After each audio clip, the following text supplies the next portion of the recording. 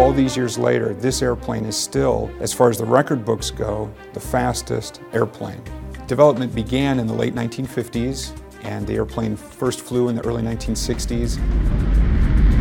This airplane in particular to me is awesome because it is the world absolute speed record holder. On July 28th of 1976, this airplane was piloted to a speed of 2,193 miles per hour, the M1 rifle of World War II fame, which had a muzzle velocity of about 2,800 feet per second.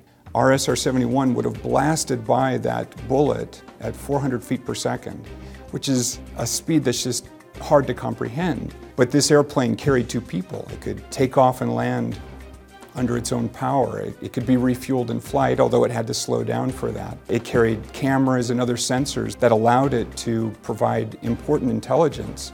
And so it's just a, a really amazing airplane. And this was 1950s, 1960s technology.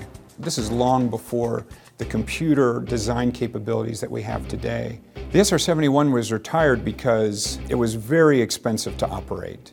And by the 1990s, it had been flying for going on 30 years. When the SR-71s retired, certainly the United States lost a capability. Yes, there were satellites, there was the U-2, there were aircraft like the Global Hawk, but there's nothing like having an airplane with the unique capabilities of the SR-71 that could fly so high and so fast that is, is still a world record holder today, still captures people's interest and curiosity.